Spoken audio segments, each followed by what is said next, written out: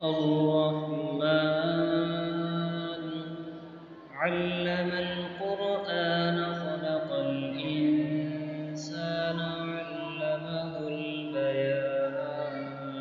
حضرت مولانا قاری سید محمد ارشاد صاحب دعوت برکاتہم نے تلاوت بھی بہت خوبصورت فرما دی ہے۔ اور بچوں سے اور آپ حضرات سے متعلق ضروری باتیں بھی ارشاد فرما دی ہیں۔ اس لیے مزید کچھ باتیں کرنے کی ضرورت نہیں ہے۔ البتہ اتنی بات میں بھی دوہرا دوں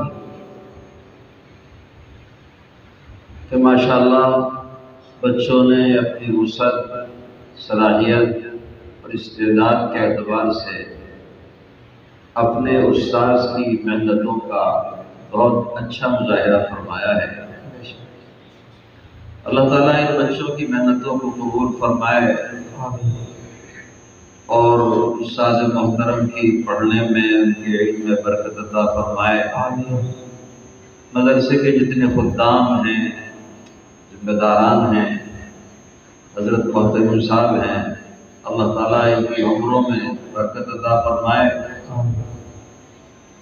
مختصر سی مجلس تھی لیکن بہت طویل ہو گئی، ماشاءاللہ۔ سب نے محنت سے سنا بھی ہے، پڑھا بھی ہے۔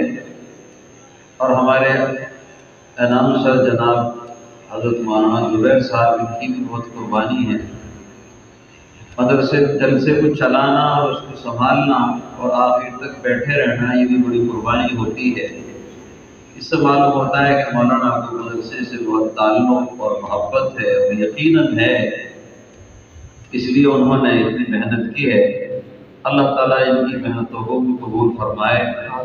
اور اس مدرسے کے فیض کو اللہ تعالیٰ بہت عام فرمائے۔ کئی سال سے یہاں آنا نہیں ہو سکا تھا۔ اس سے پہلے برابر امتحانات وغیرہ میں آنا ہوتا رہا۔ اور اس مدرسے کی بہت اچھی تاریخ ہے۔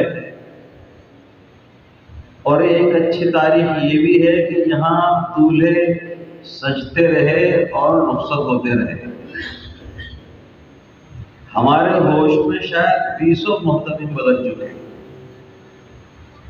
اور مولانا وحید الزما صاحب کے بعد تو یقین بات نہیں کرے، تو چل میں آیا، تو چل میں آیا، ایسا ہوتا رہا اور بعض لوگوں نے آ کر یہاں کے نظام تعلیم کو ایسا اکھاڑ پچھاڑ کر رکھ دیا کہ کئی اچھے کام کرنے والوں کو ادھر سے ادھر کر دیا۔ اور یہ مدرسے کے حق میں اچھا نہ ہو سکا۔ ایک اچھے پڑھنے والوں کی ٹیم قرآن پاک پڑھانے والوں کی، یہاں تیار کی تھی اور اس کا بڑا حصہ بھی ہے۔ لیکن اس میں اچھا خاصا خلل ہو گئے یاد رکھو، اگر مدرسہ بنانے اور چلانے سے آپ کی منشا اور مقصود اللہ کی رضا ہے تو تو آپ کامیاب ہیں۔ اگر آپ کی منشا اور رضا، ریا اور نمود، دکھاوا اور ہم نے یہ کر دیا یہ ہے، تو لوگ دنیا میں آئے اور چلے گئے، کوئی پوچھنے والا نہیں۔ اپنی انا کو فنا کر کے اللہ کے لیے مدرسے کی خدمت کرو اور یہ سوچو کہ یہ اللہ کا احسان ہے کہ اللہ نے ہمیں اس کے لیے قبول کر لیا ہمارا مدرسے پر احسان نہیں ہے۔ مدرسہ اللہ کا دین ہے اور اللہ کا دین کسی بڑی سے بڑی شخصیت کا محتاج نہیں۔ اس لیے اپنے آپ کو فنا کر دو اور مدرسے کی خدمت صرف اور صرف اللہ کے رضا کے لیے۔ اب محتم صاحب آئے ہیں نئے۔ ان کی قدر کر لو۔ اور یہ عہد کرو کہ ہم اپنی زندگی میں انہی کو محتمم دیکھیں۔ اور ان سے کام لیں۔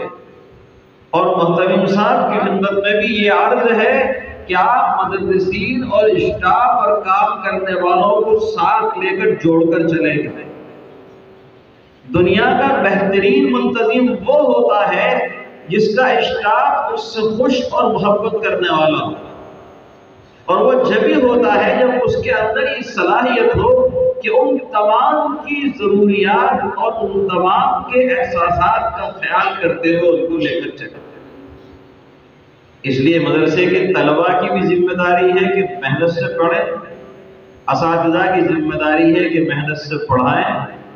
منتظمین کی ذمہ داری ہے کہ محنت سے اخلاص سے تعاون کریں۔ اور حضرت محتم صاحب کی ذمہ داری ہے کہ وہ پوری دیانتداری اور اخلاص اور اللہ کی رضا کے لیے اور اس کو پیش نظر رکھ کے مدرسے کو چلائیں۔ میں اپنی ناچیز دعائیں آپ کی خدمت میں پیش کرتا ہوں۔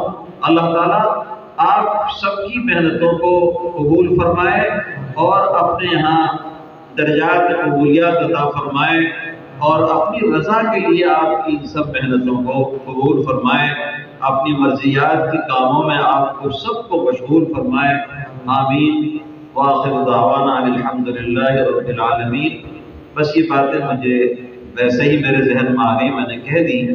ورنہ ضرورت کی باتیں قاری ارشاد صاحب نے ارشاد فرما دی تھی۔ بہرحال میری باتوں کو آپ ناراضگی پر محمول نہ کریں تب محمول نہ کریں۔ میں جس مدرسے سے میں یا کوئی بھی استاذ تعلق رکھتا ہے اگر اس کے اندر کوئی اسمحلان آتا ہے تو اس کو صدمہ اور تکلیف ہوتی ہے، جس کا میں نے آپ حضرات کے سامنے اظہار کیا۔ ہم جس مدرسے میں پڑھاتے ہیں، جس طالب علم کو دو اور تین سال تک پالتے ہیں، اس کو اولاد کی طرح اس کی تربیت کرتے ہیں۔ اور اس کی محنتیں اگر اچھی سامنے آتی ہیں، تو اس کے لیے دل سے دعائیں نکلتی ہیں۔ لیکن اگر اس کی محنتوں کو کوئی زک اور تکلیف پہنچاتا ہے اور صدمہ پہنچاتا ہے، تو پھر اس کا یہ احساس ہوتا ہے، ایسا نہیں ہونا چاہیے۔ اللہ تعالیٰ آپ سب کو مدرسے کی اخلاص کے ساتھ خدمت کرنے کی توفیق عطا فرمائے۔